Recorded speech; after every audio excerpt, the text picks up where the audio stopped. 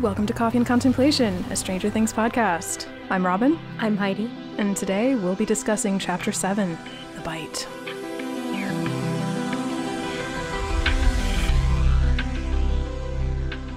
Welcome back. I'm very happy to have you back. Oh. Uh, especially because we didn't necessarily know if you were going to be back for just the finale or if come Yeah. back for, for chapter seven. So yay! So our our coffee selections for today are once again just like in the f- the first episode are themed. Not coffee. No. We went to a little local place that we both have a lot of fondness for. It's the North Market Pop Shop, which specializes in, like, I mean, they just have this wall of sodas and of all brands from all over the country. And most of them are normal, but some of them are absolutely wild. There was a butter flavored one, a mustard flavored one that I noticed today. It's, I mean, it's a little place, but it's the selection is enormous. And so I got a, uh, I'm for the first time, I'm trying a Reading Draft root beer. I got a black cherry. I have drank all of it already because I got a float, but I was drawn to it because it's black cherry and was also in uh, like English and French. So I must have the thing that has French on it for some reason. Well, and very important question: What flavor ice cream did you get? oh, chocolate, naturally. So it's a black. So it's sort of like a black ch- black cherry chocolate. Yum. And we decided to go to the pop shop, um, A, because we like it, and B, because we thought in this episode they're at the movie theater, and it's sort of a, a tradition to get soda when you go to the movie theater. So let's get let's have soda. Yeah. Well, now that we've acquired coffee, let us proceed with contemplation.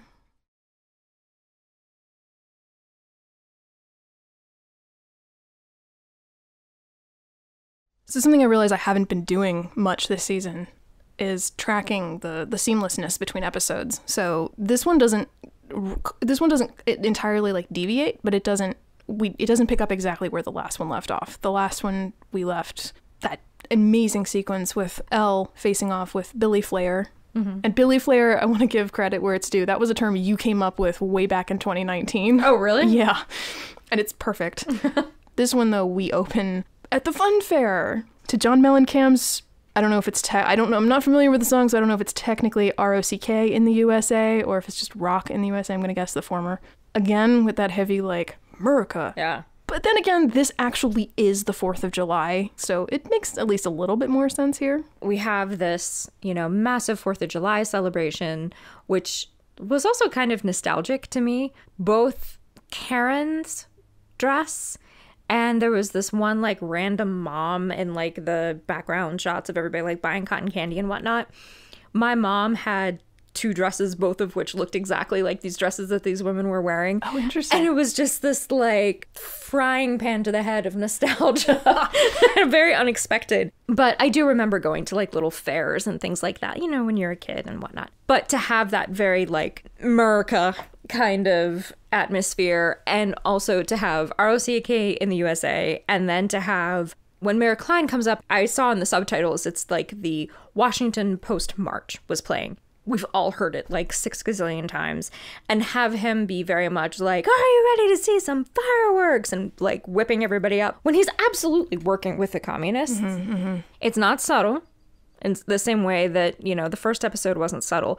But i think this is also satirical whereas the first episode was just not part of the reason that they're able to go for satire and not just like James Bond pastiche is because the Duffers are a lot more familiar with American culture and they're a lot more familiar with American corruption in politicians and even what Murray says later on in the episode where he's like all of the games are rigged. Yeah. And then he says like that's that's America. So I think there is a level of like satire and commentary going on even with the fun fair that wasn't present even in like like the first couple of the scenes with the mall. I wonder to a degree if this is really what they were more interested in mm-hmm. and so much of the beginning was sort of like we don't we don't really know what to do until we get to that stuff. Yeah. And it's unfortunate because I actually think that if they had applied some of this energy to some of that, it could have been better. Yeah. The scene though of Ted, Karen, and Holly on the Ferris wheel absolutely melts my heart. I love it. Like Like so sweet. the whole like why do you two like to torture me? Cuz it's fun.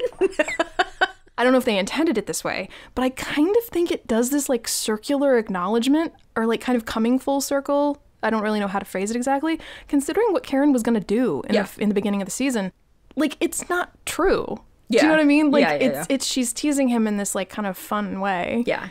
And I don't know. I actually thought that was kind of a really And- beautiful moment. Yeah, no, I very much agree. And the fact that he's not, he's clearly not actually scared. I mean, I can also tell that he's not like a Ferris wheel enthusiast, Yeah. as it were. but he's not like, he doesn't feel like he's actually in danger or anything like that. So he's saying, like, why do you two love to torture me? Just playfully, in the same way that Holly and Karen are. Karen is very much in this place of trying to, I don't want to say trying to rekindle the romance or anything like that, but I think she's reinvesting in the life that she already has. Even the fact that she would think to slip a five to the guys so that they can watch the fireworks up there, like that's really, that's a really thoughtful thing to do. Mm-hmm. So, yes, I like it too. And then yeah, when when Mayor Kline gives that speech, I can't help but think about the uh the, again the gag reel.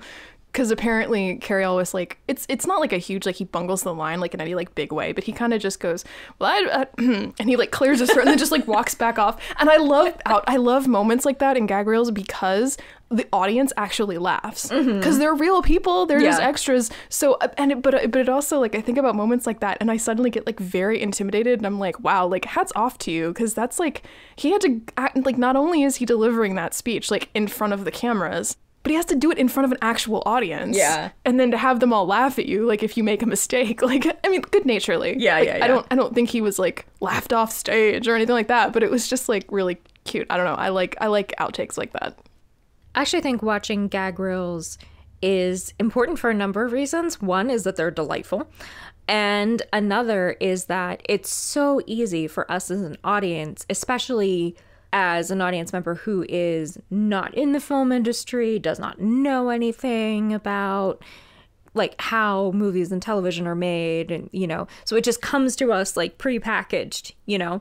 And even with the effort that i have put into learning about how movies and television are made i still find myself kind of in that headspace just kind of automatically like oh yeah like first this happens and then this happens and they film it all in sequential order of course they do and you know other like mistakes i don't even know i'm making so it would be super, super easy for me as an audience member to assume that like he did that all in one take because it's just natural, that's his job, etc., etc. But seeing the gag reel kind of it makes it it makes the process so much less esoteric. Mm, mm-hmm. And it also brings filmmakers of all kinds like down off of a pedestal that I don't think they're even trying to be on.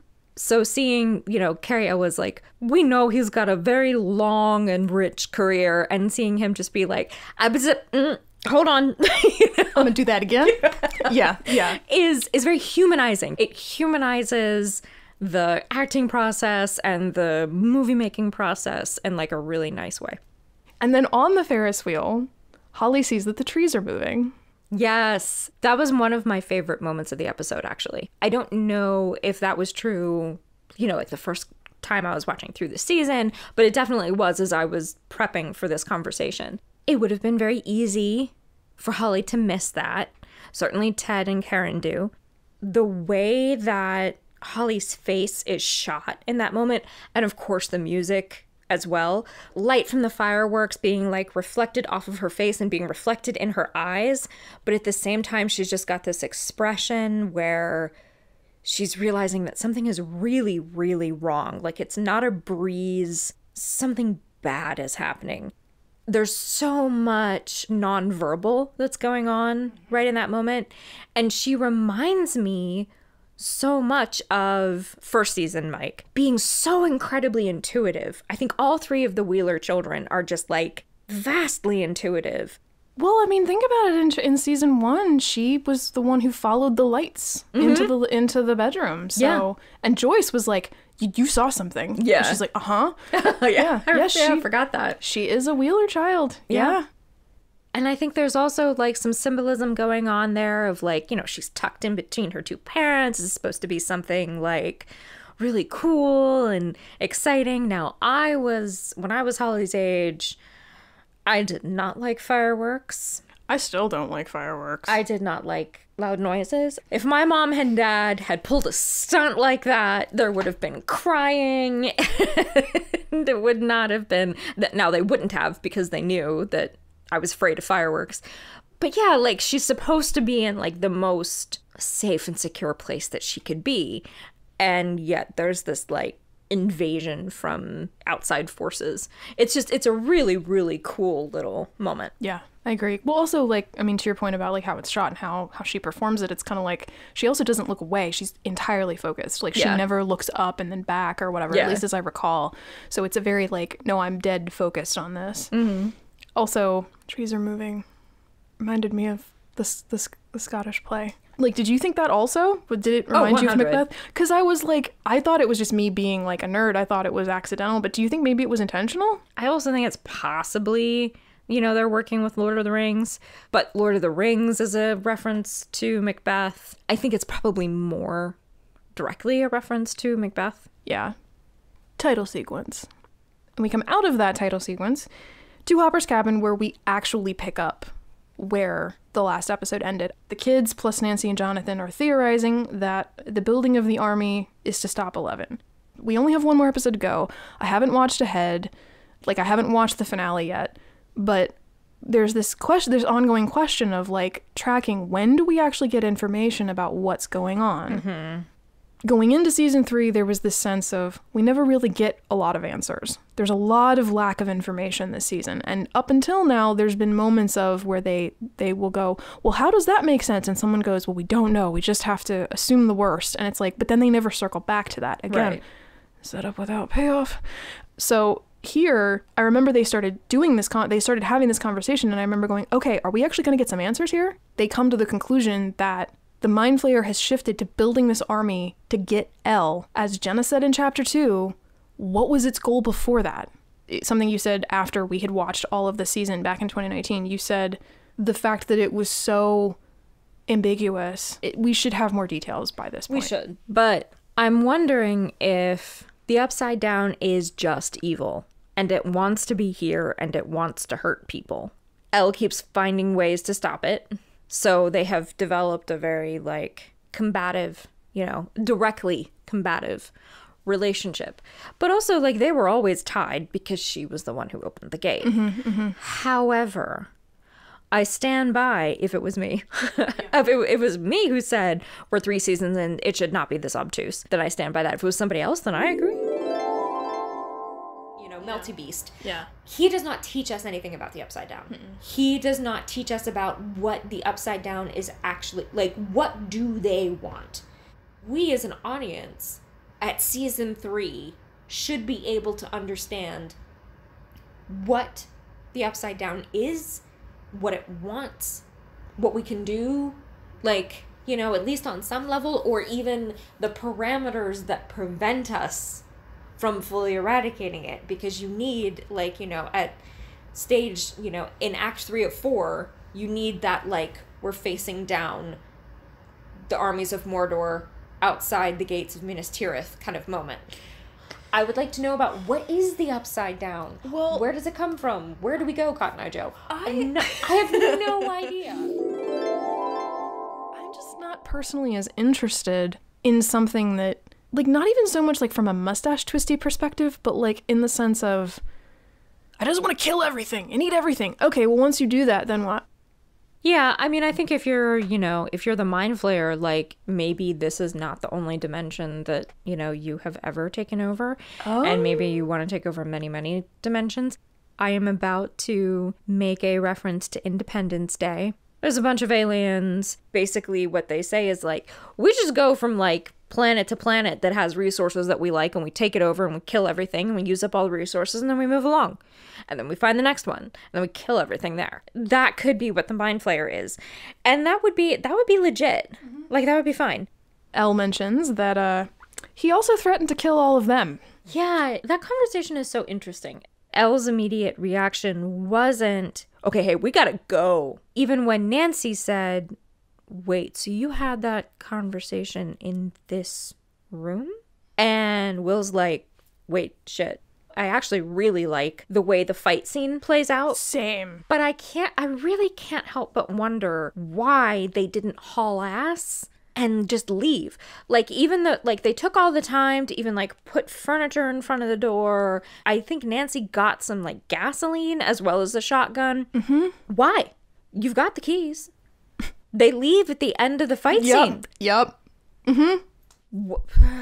They, yeah, they put it together and they go out and they see it. We cut back to the the mall, but while we're here, let's just go ahead and talk about the sequence. Because in a way, the fact that they cut back to the Scoops troop and then cut back to this implies a delay of time. Now maybe it's not parallel action, but it's kind but it, it adds this feeling that there's this like weight. Well, I remember as I was watching the episode, because they can see it really clearly. It's like maybe 100 yards out, Yeah. you know, and they have all this time to be like moving, you know, rearranging furniture and shit. And I'm like, did Jinsis just be like, okay, hold on, one minute, one minute. well, well, or the mind flayer is like, uh, I'm so excited, but I'm, I'm gonna give you guys a head start. I'm just Yeah. gonna hang out here for a minute and just wait, just like, like a video, like a character in a video game, just like hovering, like waiting. Like, all right, go ahead, get ready. I'm so confident. I'm gonna just let you guys prepare. Mm-hmm. I mean, because it doesn't end up making much of an impact. The thing tears right through the roof. Like Yeah. it doesn't. But yeah, I had the same. It, this is the same sequence from the end of season two when El came back. Mm-hmm.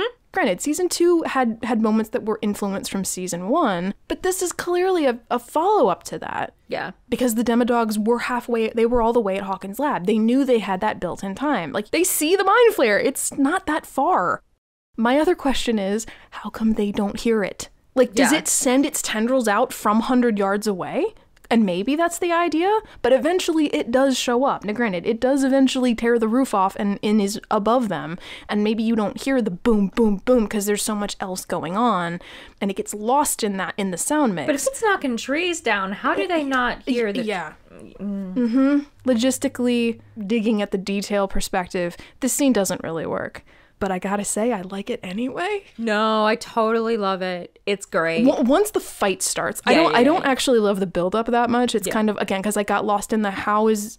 How is this working? Why are you not leaving? Yeah. Because they're all standing outside in front of the fucking car. Yep. Looking at this thing coming towards them. Yeah. I mean, the only thing that happens is that El does rip its head in half. Yes. So that allows them time to get away. Yes. But if they had all that time to prep, they had time to get. So, but I guess, uh, yeah, I, that's the only way that that ending, like, you can't airlift the fight out. No. So, and, that counts. And I also think that despite everyone but El being very ineffectual against the monster, I do think that it's important to keep showing that they are all there. They're all with her. Mm-hmm. None of them give even a fraction of a thought mm-hmm. to abandoning her. Mm-hmm. They all know that they're no match for this monster and they fight it anyway. Jonathan picks up an axe and is just like, all right, let's do this. I especially loved the axe because that felt like a callback to Joyce. Yes. Yeah. So I think that's really, really, really important character work. And also, like, they get to see that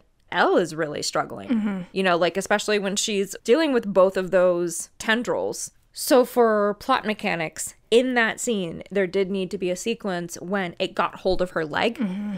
The bite, Yeah, the bite. the titular bite. that did have to happen. I just think that like the setup could have been and even like you know the how it was shot and mm-hmm, the effects themselves and I mean I have been very much on record that there are some ooey gooey greasy grimy gopher guts Yeah. stuff in this season that I just am not interested in looking at. Yeah. Like that fight sequence Yeah. was actually really fun and really cool to watch. Yeah, I mean, if you wanted to say, like, well, this is just spectacle, or largely spectacle, I'm here for this kind of spectacle. I mm. like the spectacle of this fight because it's.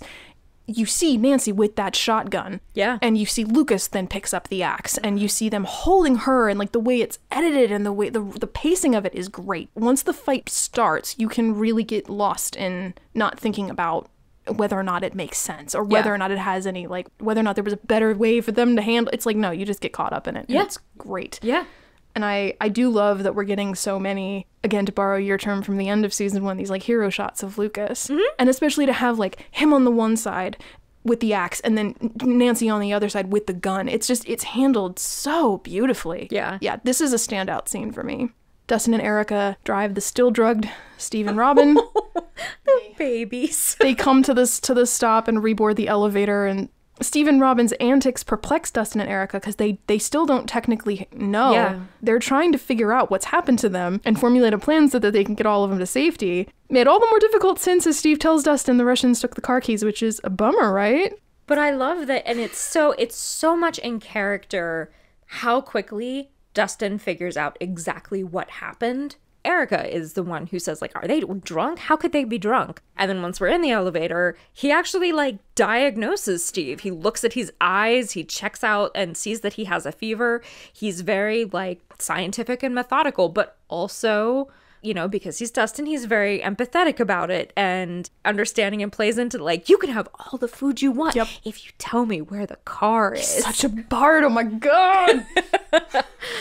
Although it's kind of a clericy moment, but whatever. In terms of the positives, I uh, laughed pretty hard with Dustin's response to Robin's "We all die, my strange little friend." like he just stops, considers, and then totally disregards it and just turns back to Steve. Like, like, dude, Matarazzo, like just nailing the understated comedic timing of that yes. at the same time like this whole section of this of this episode it feels like a it- like it rings a vaguely familiar bell of like an 80s and or 90s trope with the kids and parents like swapping roles i feel like that was a thing we saw a lot in the 90s and i've never been terribly fond of that like to me this shtick gets old fast Yes. But to be fair, it does end fairly fast. yes and that was something i think the first time i watched it it felt like it went on for fucking ever. and it doesn't Well, and I think also like the first time you watch it, the first time I watched it, I was irrationally and and unfairly in the same way that I would be if this were like a real situation, pretty annoyed with Steve and Robin like, "Would you shut up and try to focus and like you understand that your actual life is in danger? Can you like get your shit together?" Because I'm worried about them as characters. Yeah, I don't want yeah. anything more bad I don't- to happen to them. I don't want them to get caught by the Russians again. right It heightens the intensity of their antics. Like if they just like, I'm not suggesting this is in their characterization, but if they just like got high, mm-hmm. this would probably be funny because of like their like surfing on the, the rolly thing and like yeah. So like it, it would all be a lot more harmless.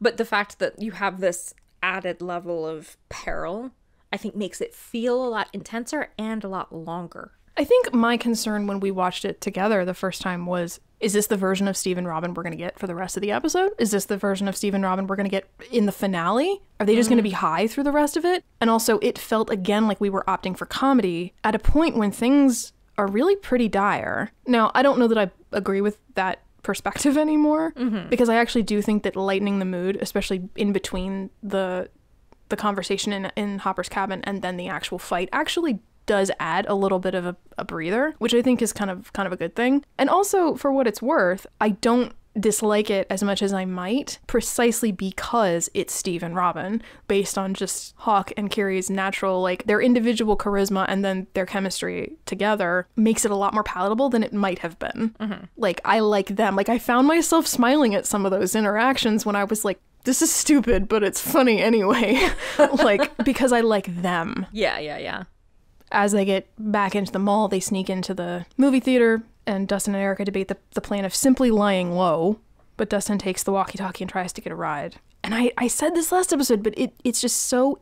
I don't even know what the word is. It's just, I find myself noticing. We're in the penultimate episode. The Scoops Troop know nothing mm-hmm. about any of the stuff with the. Like, it's kind of incredible that they're still so separate. And then, for something completely different, we catch up with Alexei, Murray, Hop, and Joyce flying down the highway discussing how to turn off the machine, at least until Hopper and Joyce get into yet another argument. And that's when Murray has to interrupt to deliver his, his truth bomb. What did you think of this? Murray reading the room in season two was really, really effective for a couple reasons. One, Murray is an adult, Jonathan and Nancy are teenagers, so therefore they're a lot easier to read. I think it worked kind of unexpectedly well. It was a fan favorite, and so they decided to do it again. I don't even necessarily want us the romantic tension. I don't know if I'm prepared to actually comment on whether or not Joyce and Hopper have sexual tension and to what degree. But that's what Murray is saying here. But that is what he's saying here. But also, he's talking about like the feelings that are there. He says, like, oh, you two have sexual feelings for each other. But really, what he means is that they have romantic feelings for each other. And I wish he had leaned on that. Now, the reading the room thing. You're drawn to him, but you want somebody who is nice because you had a bad relationship and you are worried about opening up to somebody because that didn't go well last time. Uh, that I could have actually done without, not because it wasn't insightful, but because we all know that already. And I think that there was a, I think the reason it worked better with Jonathan and Nancy is because it was, because Murray was saying things that we as an audience had like kind of picked up on, but that we weren't explicitly already very aware of. Now, the whole thing of like you two bickering and this like bizarre and like secondhand embarrassing mating ritual is getting on my nerves. Either stop or make out. That I actually thought was funny. That's a good point. It did shut them up, but the but the whole thing is too much of a good thing. But I love and adore when he sits back and Alexei's like, "What was all that about?" It's like, "Oh, I was telling them to have sex. They haven't had sex. That's amazing. That part's great. Yeah. Yeah. Yeah. I, I think the reason that, that that button on the end of it is so great is because A, it is very different from what happened in season two. Yeah. I know it's super funny and I like it and I laugh at it and I think it's great for a comedic note, but I actually think it's a really key point of Murray and Alexei becoming friends because to me it says Murray is realizing, oh, dude, like you can keep up. Yeah. Yeah. okay. Yeah. yeah. It's a moment of like actual, like, I don't think it's just like, oh, isn't this funny? Which would be fine anyway. Yeah. But I really liked that about it. Yeah. For me, the rest of the scene, like a lot of other things in this season, it's the presentation. I don't like that he has to scream this at them on the highway because they're in the car. It's consistent. To me, so much of what made that sequence in season two so so compelling is how deft it is. Mm-hmm. It's very quiet. It's understated. It's more like it progresses the story, mm-hmm. or at least progresses the character development. And to me, I think in season two, it didn't feel. I don't know why I'm so sensitive to this, but I find that I really get very, I bristle very easily when anything kind of brushes against being insulting to Bob. I find that really upsetting. And I don't know that that's probably mostly a me thing, but I find that something about the way that Murray and and I love Murray, don't get me wrong, he's one of my favorite characters. But the way that he says that about like you want someone stable and and like basically he describes Bob. Yeah. And it's like, but that's not good enough for you and you know it has this very like that's not you're that's not worthy of you or that's not good enough or that's that's pointless and that's stupid and it but I don't like it. I really don't. I feel like they could have handled that in a way that didn't have to be disrespectful to Bob's memory. Mm-hmm. Especially because it's like I don't think that it's unreasonable for Joyce to want those things. Yeah. Especially considering how fucking unstable Hopper has been this whole season Yeah. Especially considering that Murray's parting line to Joyce is, but you're really curious to know what he'd be like in the sack. That feels like then that diminishes their relationship. So it's interesting mm. to me that you picked up on the fact that he's that you read it as him saying it's romantic tension. Mm-hmm. I don't know. It it feels to me like they were like, well, we got to do that again. Where can we stick this moment? Yeah. in the car because they're not doing anything else, and it just but it ends up having this like. I'm gonna scream this at you. Yeah. Like everything else this season, it's over the top and blown out of. It's I don't know. Yeah. I mean, am, am I way off about the Bob thing? No. But I think what he's saying there is not so much like Bob was boring. He's saying like you think you're looking for something something or someone other than Hopper, but you are very drawn to Hopper. You think he's very sexy and you are mad about it. so you have like an idea in your head of what you want that's like the opposite of Hopper, but Hopper is who you who you actually have feelings for. I wish he had been more like if he had started off with the like children, children. Like, hey, we've got like a lot that needs to be handled here. But if he saw them getting uncomfortable and was like, listen, Joyce, mm-hmm. I can see that this is a difficult thing for you. Whatever, whatever. If he had been more gentle about it, I think it could have worked better. But he's also frustrated in the same way we are. Yeah. which is a really good point. Again, like they've said, they've said and done some not great things to one another this season, and it's kind of like I'm fine with that to an extent. It just feels like neither of them get held accountable for it. Yeah. Uh, there's not a lot of getting held accountable at all in this season. Yeah. But speaking of Jonathan and Nancy, sort of, um, that group arrives at Bradley's Big Buy for supplies for El's very serious injury. And Max schools them in knowing how to treat it, stop the bleeding, then clean, then disinfect, then bandage because she skateboards. And I love that. Mm-hmm. I don't know how accurate any of that is, but I like it. I love the way that Max takes charge. I also love that she leaves Mike in charge of holding the bandage, you know, on El's leg. Whatever's going on between them, Max knows that El trusts Mike and blah, blah, blah. While Lucas and Will are looking for a washcloth and bowl, they stumble onto the fireworks display. Conveniently, one that's basically a bomb, according to Lucas. I kind of love that Lucas and Will are sort of useless when it comes to like finding supplies. Yeah. I don't know how realistic I find it. Like, wasn't Lucas the one who had like an entire like survival kit in season one? Huh? But I fully understand why Max is like, you fucking dumbass. Can you do what I tell you to do one time? But at the same time, Lucas is finding the fireworks and wanting to use them on the flayed is genius. Yeah. because the whole like you know the whole reason that El can't make a dent is because it keeps coming apart and then flowing back together. Whereas if you have like a whole crap ton of fireworks then it's being attacked from many many many different angles. Mm-hmm. I like the way lucas thinks in that sequence Well, especially since I mean, one thing that occurs to me is also like it's a new idea. Like, mm-hmm. because one thing that that I I didn't say about the fight earlier is that like yeah, like they can't actually beat this thing with the shotgun and the axe because as we talked about at the end of season one, it's like how do you kill this thing? Bullets, Yeah. do, you know, it gets hit with machine with a machine gun and it doesn't slow the Demogorgon down. This is the mind flayer. Yeah. How do you kill it? And and this is not actually a criticism even of the show or the characters necessarily but they keep bringing the same knife to the same gunfight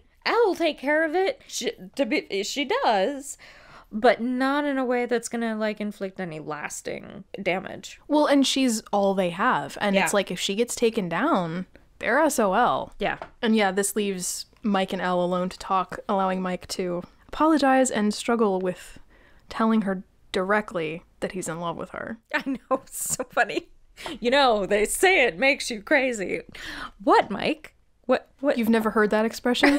Which was funny to me because I was like, dude, of all people, I think you would probably know that she hasn't heard most like euphemisms and common She's- expressions. yeah like she's she's heard almost nothing Uh, apparently, uh, this exchange was largely, if not entirely, improvised by Wolfhard. Oh my god that's precious and I, and I'm curious to know what actually was scripted, just as a curiosity. Like, what what did he do differently? I do like, especially the exchange of bitchin', because my head headcanon is that that means that El has told him where he, she heard that expression, which is to say, he knows all about Kali. Mm-hmm. But before, and maybe Mike would have worked up to it, but before he can do that, he hears Dustin on the walkie, backed by the musical score from Back to the Future. Mm-hmm. but the transmission is garbled because the battery is low. I actually really love this moment. It- The relief on both sides is so is so cute, and I, I just I love how much joy it brings me. And Dustin reconvenes with Erica just in time to realize that Steve and Robin have disappeared, and they're still drugged, trying to make sense of the movie.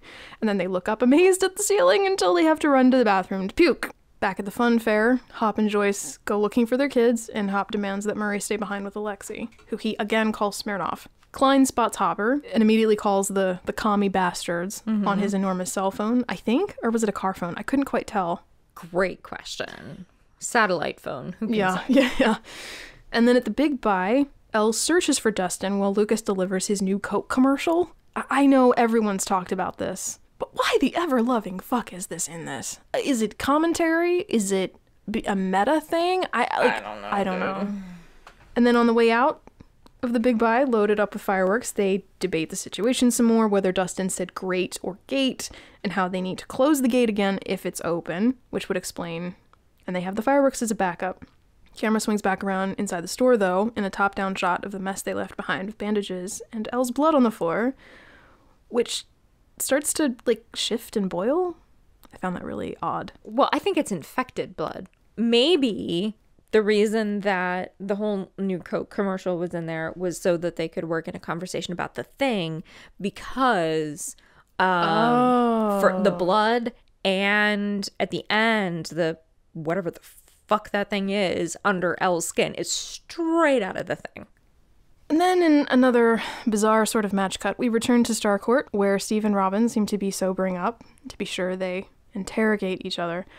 I really love, like, very early on in the beginning of the scene, I love the exchange about Nancy. She's such a press. Turns out, not really. Mm-hmm. Like, that really kind of sums it up. Yeah. Like, I love that. I thought that was actually a surprisingly, like, short, quick, punchy way to describe Nancy Yeah. and her arc over the course of the, the three seasons. Steve tells Robin that he likes her, and Robin admits that she likes him too, though not in the same way, which is a real surprise, even to her. She recounts how much she hated him in school, partly because he was so awful, and partly because he got all the attention from Tammy Thompson, the girl she liked, revealing that she's a lesbian. Steve is surprised, but accepts it, and thus, Louis, I believe this is the beginning of a beautiful friendship. okay. Uh. So I don't think it's hyperbole to say that this scene has had a pretty profound impact on my life. But before we get into that, I really do love every bit of this scene. I think it's crafted really, really well. And I love that this development came primarily from Hawke and Keery. I, I love how everything that Steve says prior to the big reveal is genuine. Like mm-hmm. I think it and I think it tracks regardless of how the scene ends. The way that this scene plays out doesn't feel forced, it doesn't feel tacked on. Cuz all of this that he says about like I should have been hanging out with her the whole time, like All of that is still true. it's still true. And a good portion of the, this early little bit is him kind of talking about how much more there just is to life. Yeah. And it's a lot of like the culmination of what he's realized over the course of the three seasons. And I think that's great. Yeah. And I, I don't know about you, but I remember watching the scene being very much on the edge of my seat. This was a very like compelling. Yes. My first watch, I had heard whispers of like, "Oh my god, big spoiler around Robin," you know, but I didn't know. So I remember like him making this like very sweet speech and I had thought that they had had romantic chemistry throughout the season. So I was not understanding why at, at first why she was reacting in the way that she was because she seems upset and not like, you know, she doesn't seem like mad or scared, but she seems upset. And then once it became obvious, like, why and what was going on, then I immediately shifted into, I was anxious about it, about what Steve's reaction was going to be, just because, mm-hmm. but also because I don't trust Stranger Things when it comes to queer characters. They have historically not done a great job with representation. Mm-hmm. Talking about Billy, talking about Will. So I was just like, where are we going? Because this could go in a lot of ways that would be really, really heartbreaking and also very offensive. But I think Keery's performance is really, really important here because he does take a second to be like, oh, damn, well, I shot my shot and I'm getting rejected. But he doesn't make it about him.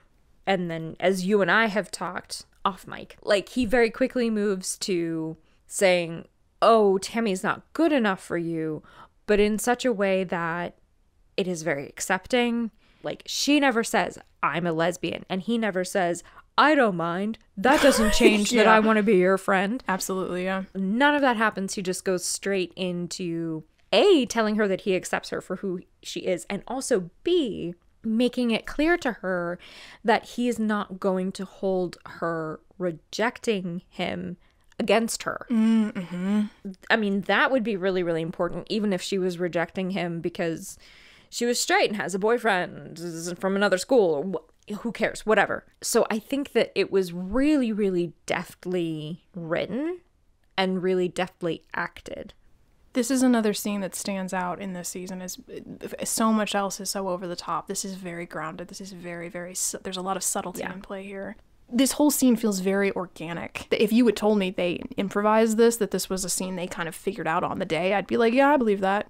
Yeah, he processes so much so quickly. but not instantly. Mm-hmm. And I think that's also a really important point because he has to say, oh, and then he sits there and just like stares into the middle distance for a good minute until she has to say, Did you OD over there? And then he has to like kind of snap out of it and say, No. And then and then the conversation moves forward. So he doesn't just immediately go, Wait, not her. Come on, we can do better than that for you. You know? Yeah.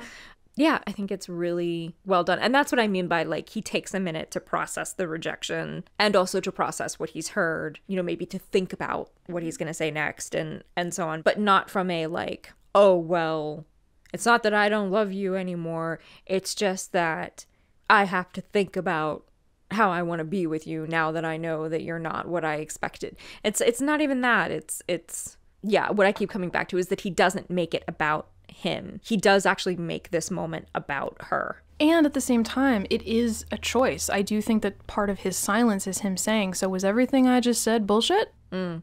I think he realizes both in terms of like, she's still all of the things he just said, and he can still have that relationship. It, it doesn't, it means they're going to be, it's a different relationship, but it's still a relationship. Mm-hmm. And I think, I just, I love this as a culmination of his, of his arc, of his journey. Like, Yeah.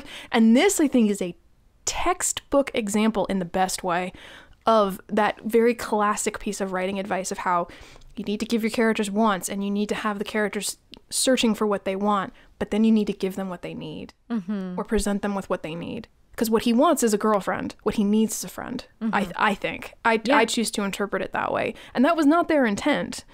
They, they intended to give him a girlfriend. Yeah. But I think this ended up filling that kind of natural. I think that's the reason it works so well in terms of how they're going to move forward as friends. It's just, it's so beautiful. I love it so much. I, I'm actually curious. Do you remember how I reacted? Did we pause it or did, did I like freak out at the end of the episode? Mm, we did pause it. You did not react well. Because I made it about me and I made it about Steve. I don't think you should worry about that because this was a conversation that you were having with yourself about a piece of media that was very, very important to you. Here's what I mean fully, because I've also had a lot of time to, to process. I re- this was when I realized that I relate to Steve, that I see myself in him. I hadn't in in chronological order of watching the series. I've talked about it at this point. I think I think it's it's come up at some point that I that I relate a little bit to him. I may have cut it out every time I've brought it up, but this was when I first figured it out. And it makes sense that it took me this long to figure it out because honestly, the character of Steve and I have very little in common on the surface. He was super popular. He had he was an athlete. He was came from a very wealthy family. He dated a lot and I'm none of those things. And I think now, even all this time later, I think I project a little bit onto Steve because I think my my interpretation of him is that he ha- carries a lot of insecurity, but that he dealt with it in a very different way than I dealt with my insecurity. Hmm. And those two things come from very different sources, I think. Maybe that's true of the character, but that's that's just how I read him. I don't know that I have any textual evidence to back that up, but I see a lot of myself in his moments of cowardice, which is ironic given the fact that one of the things I like so much about the character, like separately from myself, is that he has these moments of just absolute self sacrifice. Like he throws himself in front of danger for people. Mm-hmm. And that's not something that I do. But I see that as a very aspirational thing in him. So in this moment, I think what I when I say that I I feel like I made it about Steve and I made it about me was partly because these things were starting to click. But in terms of why it hit me so hard, this is what my negative self-talk feels like. I didn't even I wasn't even aware that it was there until very like within the last couple of years. And a lot of that is because of this moment. This was when I figured out that I that I do this to myself and I think that I mean a lot of us do this. But I I wasn't aware I was doing that so it was like seeing this person who I was figuring out as it was happening that I relate to him, that I see myself in this person. This this kid who has this beat up face, who has been beaten down both verbally and physically all season, all three seasons, but especially this season, to then have Robin, a person named Robin, saying to him, again, the way I experienced it on first watch, I don't hold to this anymore, but it seemed it it I experienced it as her just going through you're just this awful person and you you were this awful person and I've held this against you and you I can't get past that and this is always how I'm going to see you and you can't outlive these mistakes that you've made and these these ways that you used to be and this person that you really are and your this was how I was hearing it. And so the reason I feel bad about that in hindsight is cuz I wasn't hearing all of I wasn't hearing Robin's perspective. So I do now, but that was what jumped out at me. But what I have since figured out and why this scene is so important in terms of whether I selfishly viewed it at the time or not, what it may has made me realize is that what me becoming and being so defensive and so protective of Steve as a character, I realize I have all of these words of encouragement and support and defense and protectiveness on his behalf. And it's like, well, if I'm saying that about Steve, that means I'm saying that at least in some capacity about myself. Mm-hmm. And that's been a really big deal. Yeah. And I think what that says to me is on a much broader scale is that I think this is why fandom is important. It, it has the potential to do this. This has had a very real world, real life impact on me. It's it's helped me work past some of that. And that goes for Stranger Things as a whole. That's not even just Steve. So when when I kind of thought through a lot of this, it's made me very appreciative of the show as a whole, and I think that's part of the reason I've become so fixated on this show. You know, I stand by the criticisms we've had over the course of these three hmm. seasons, but I'm very grateful for this show. I'm very grateful for all of the writers that have contributed to, particularly to char- to Steve's characterization, and then also to the Duffers for for casting Keery, for listening to his, to his perspective and and his ideas and then to Keery himself. Like it's just it's something that i'm yeah this scene is very it's a very personal very very very very personal scene for me still you know? But i love the way it concludes. I just yeah. it's a really beautiful scene. Yeah that speech even the first time i heard it it didn't strike me the way it struck you it wasn't personal for me in the way it was personal for you but even when she was saying, like, your hair was stupid and you got crumbs on the floor and you asked dumb questions, I didn't take that as her saying, I can never get past these things that you did. I already knew that she had mm. just because of the friendship that they had formed over the course of the season. So I think it's it's interesting to me and, and not in a like i'm not criticizing your reading etc etc like i just think it's really interesting that even in that moment where i was like i don't know that i fully understand what's going on here she's just saying this is how i did see you but i didn't feel that she was saying this is how i do see you. Later like days later like thinking about this scene and the it was the look on his face like when she says a lot because a lot of the coverage is on steve reacting to mm-hmm. what she's saying. And it's he looks so sad. Yeah. Like there's so much of like i did that to you. And mm-hmm. i think that speaks to how i think of my own mistakes. They just and i think this is true of a lot of us with who struggle with anxiety. Like sometimes our mistakes just live with us and I think that's what I see in him right there. Like, because when she says, I would go home and scream into my pillow, he's like, because of me. But not because of him. Because he didn't string Tammy Thompson along.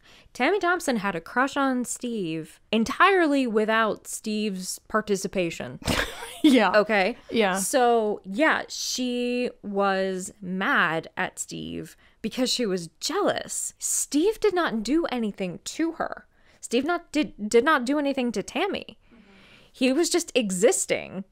And she resented him because he represented everything that she wished she was in terms of being attractive to Tammy Thompson. And so she's like picking him apart. Like, how can you be attracted to this guy who gets crumbs everywhere? And how can you be attracted to this guy who clearly didn't read the book and is now asking a question about whether the King of France is related to like a polar bear? she's just like, why? Why him? Right. You know, and that's very different from, for example, if he had dated Tammy Thompson and then cheated on her with Nancy or you know, so I think like his his crimes were not that he had done something wrong. It was just that, yeah. like everything you just said is true. It's like so me realizing that's the lens that I'm looking at this through. That's the lens that I look through look at myself through. So that's why I say like when it when I say it kind of changed my life. I'm not I'm not Yeah. exaggerating. Yeah. Because it's made me look back and see the ways that I've been so hard on myself in ways that weren't my fault. And th- having these like protective reactions like to don't pun it don't keep punishing him. He could he he was like what happens in a few scenes of like Dustin giving him shit for telling them his name when he was drugged. And he's like I was drugged and he's like so you take it like a man, like you you resist it. Like he physically couldn't resist. Yeah. For, Robin could for whatever reason, which pissed me off in that episode that for some reason her resistance is higher. Okay, so Steve gets to be the bad guy again. But it's all all of that. It's like he couldn't help it. Yeah. It's not his fault. And those words are there. They're they're pre-loaded into my psyche at this point. So it's been a really, really helpful experience. Mm-hmm. So, but yeah, when watching it the first time, yeah, you're right. I needed a minute. Yeah. because yeah i was that was a lot and i didn't even fully understand what i just experienced it was like yeah, there was a lot happening also i do love dustin's okay what the hell Yes. And especially like erica's disgusted look when they mm-hmm. laugh after that billy shows up at big at the big buy i totally thought it was the terminator mm, at yeah. first looks over the left behind mess and he smells the blood I thought he was going to taste it. I I did was about too. to gag. Yeah, gross. And it makes his pupils dilate, accompanied by that screeching sound, which I guess spreads the information to the rest of the hive mind. Don't ask questions.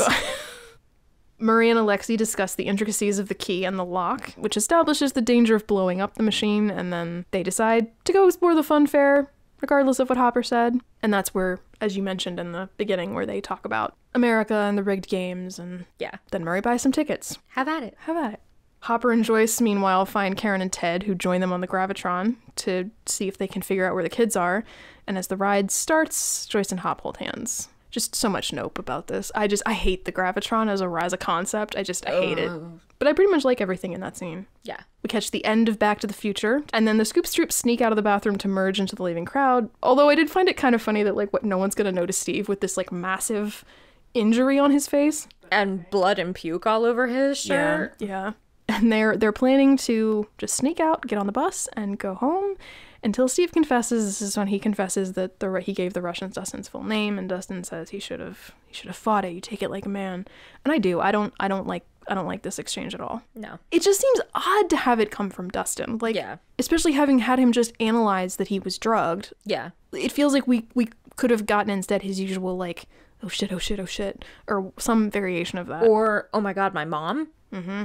While they argue, though, Ro- that's when Robinson notices the Russian guard by the exit and they backtrack. With the really thick Russian accent and the like paramilitary outfit, interviewing mall people. Bruh. Yeah. My pretty head is worried. Yeah. It should not be. No, but Alexei, meanwhile, wins big at the carnival games and he impresses the crowd and us, let's be honest. But and he wins a giant stuffed Woody the Woodpecker. But just as he's sharing the good news with Murray, everything slows down and the Terminator appears. And then nothing happens. Anyway, moving right along. Yeah, I'm not happy about this. No, I fully skipped the scene. I get it. Actually, no, I take that back. I don't get it. I'm at a point in this show where it seems like every season we have to have a sacrificial lamb. Mm-hmm. Like I'm still salty about Barb. I'm still salty about Bob. Why do we, why do we keep doing this? And I don't necessarily feel that it furthers the plot in any way to kill Alexei. Like we already know what the fucking stakes are. I wonder if it's something similar to how I didn't mention it, but how I feel about some of the stuff early on in the season where it's just getting people into position. Because we get three, I mean, technically Hopper doesn't actually die, but before we got that reveal in that teaser from January of 2020 when we saw that Hopper was still alive, three characters go down. Mm-hmm. I would have pitched Alexei living and working with Owens because, you know, Owens is the anti Brenner and Alexei is the anti Bond villain. I'm just I'm just leaning into that reference. I call Gr- Grigori the Terminator. Come on. So like to have them work together Dude, that's good. would have been really really good. That's such a good point. So as far as I'm concerned, I'm keeping Alexei. They oh he survived and Owens just put him in pr- witness protection and he's fine. Précisement. Because I think in 2019 our reaction was like no no Yeah. this this isn't this isn't hap what like it was a lot of that Yeah. and not in a good way. We get Murray's reaction and then he just happens to find Hopper and Joyce right when they're getting off the gravitron, which is very convenient. And he's like, "They got Alexei, they got Alexei," and this thus begins the chase and face off between Hop and Grigori, which I don't really feel like going through the details. No, the one thing I did want to say about that scene is that I feel like when they're in the fun house with all the mirrors and everything, I'm pretty sure that's a reference to something like an 80s. It's not a horror movie because I've seen it. so we can pretty safely say it's not a horror movie. It's like some kind of like action film or something. Like it doesn't look like it's copied, mm-hmm. but it looks like really familiar. But Google was not being my friend, so I couldn't find it. But it it's a pretty scene. Like that sequence when they're in the Hall of Mirrors is like cool looking. Mm-hmm. But the fight scene itself, I feel super ambivalent about. I think I would have felt a lot better if Hop had actually just killed the man For real. and it makes perfect sense that, you know, Terminator Man would be wearing a bulletproof vest. It does. And I know nothing about guns, and I'm like kind of proud about knowing nothing about guns. But I do know that you cannot actually get hit with a bulletproof vest and then just be like, all right, let's go. It stops the bullets from killing you, it stops them from entering your body, but you get massive welts. You can still have internal bleeding. Mm-hmm. It's a protector, not a preventer of injury. So yes, I understand that Terminator is Terminator, but it just seems stupid. It also seems stupid that Hop like knowing that this man is a cross between the Terminator and Darth Vader would not go for a headshot.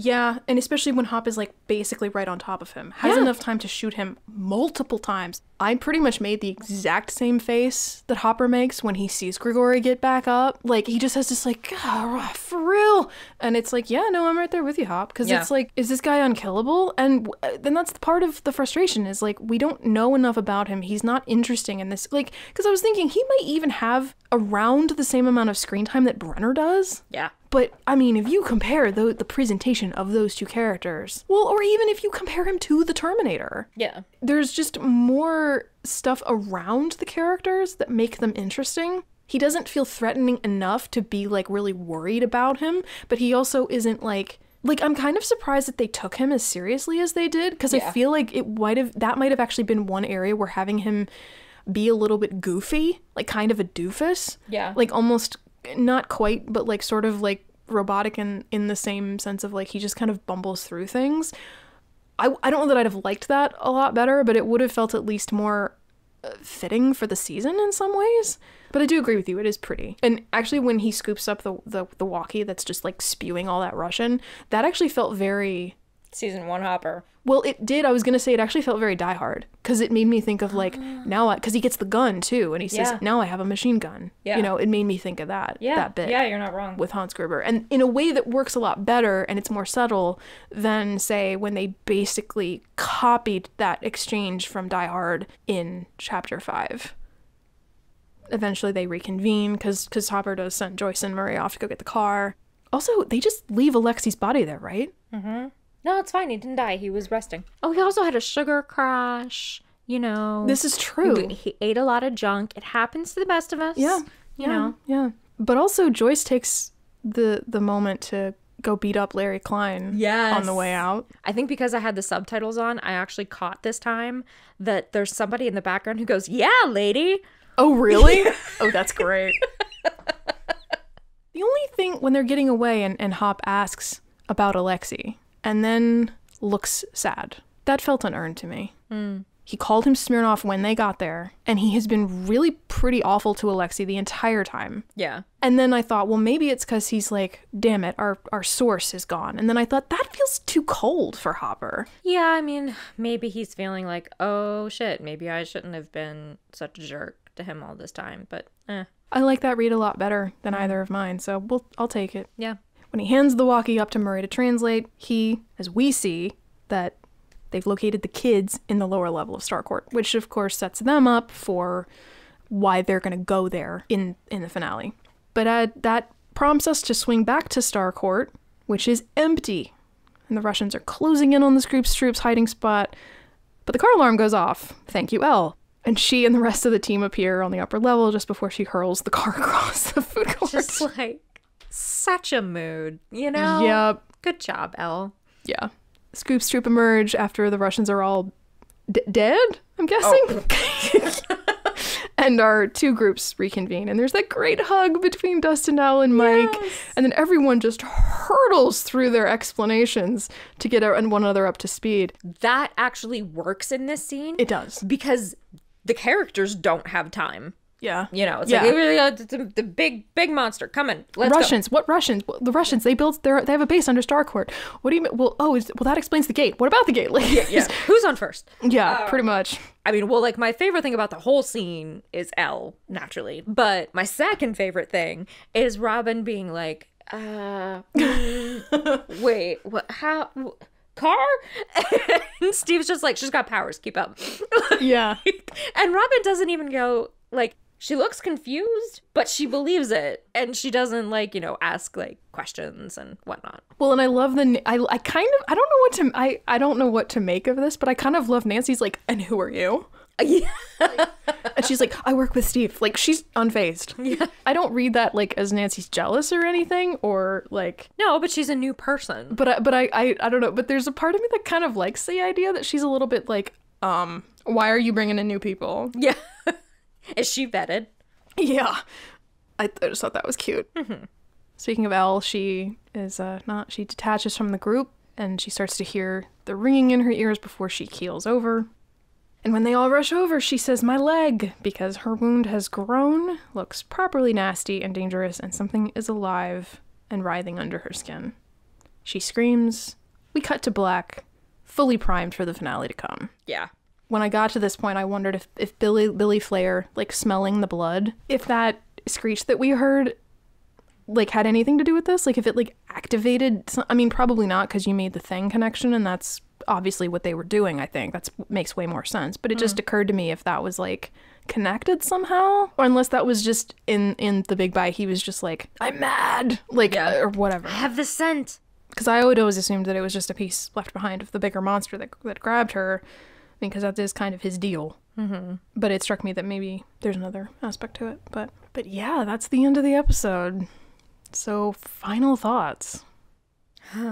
I had to fight so hard not to watch the e- next episode. In fact, I think I let it like go through. Like the cold open hadn't started before. I was like, "No, no, Roku, go go back to the home screen." But I was really really tempted to just go ahead and watch the finale because I mean, it does end on a cliffhanger, but I know exactly what happens because I've already seen the next episode, but it's one of those that flows really really naturally into the next episode. Yeah, it was it was definitely tempting. Yeah, I actually had very much the same the same reaction. It was like, wow, yeah, that f- you you feel the flow of it, and it's it's been a while since we've had a proper cliffhanger like that. Yeah. Which is going to be, which actually kind of begs the question. I wonder what we can expect from whatever the final chapter is of part one in season 4 because I wonder if they're going to leave it on a big cliffhanger like that. Probably. It would not surprise me. Yeah. But then they have such a solid fan base at this point and they have such a good way of making things feel compelling that I don't know that they necessarily will have to rely on that.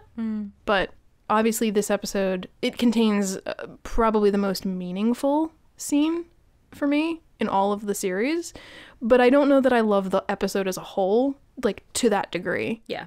that scene stands really well on its own i think regardless even of my like personal connection with it.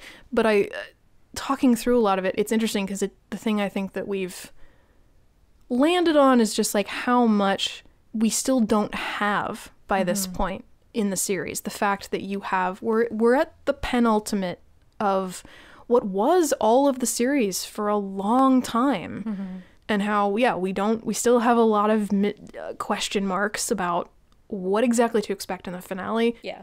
and yeah we're building towards character deaths that don't feel necessary at the same time i think that Stra- one of stranger things biggest strengths is that it tends to introduce pretty rockin' characters. Yeah. If they have like an active part to play, they generally tend to be pretty good. Uh, the Terminator and the Russian general are probably the least interesting of any new characters, but like Which is one of the reasons that they stand out. Yes, precisely. Because you think about Alexei, you think about Murray, you think about Max and Billy and Owens. Like uh, they they are really good at, ca- at new characters, and so the problem with that is that then the cast just swells.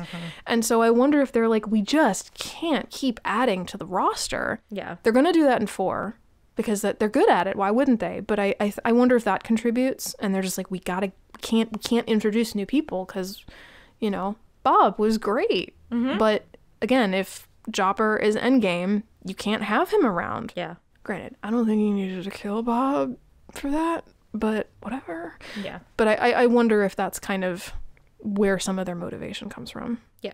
I think it's a little misguided if that's the case. We have a really good cast. I don't, uh, you know, cast of characters and then cast of actors. Like I don't know that you need to keep adding to the to the roster. But yeah. So, with that said, Yeah. that's going to conclude our contemplation on chapter seven, the bite. If you've got comments, questions, thoughts, you can join the conversation. We're on Instagram as at Coffee and Contemplation Pod and TikTok as at Coffee and Hawkins. Like, share, subscribe, wherever you get your podcasts, and consider leaving us a review. Thanks for listening. Over and out.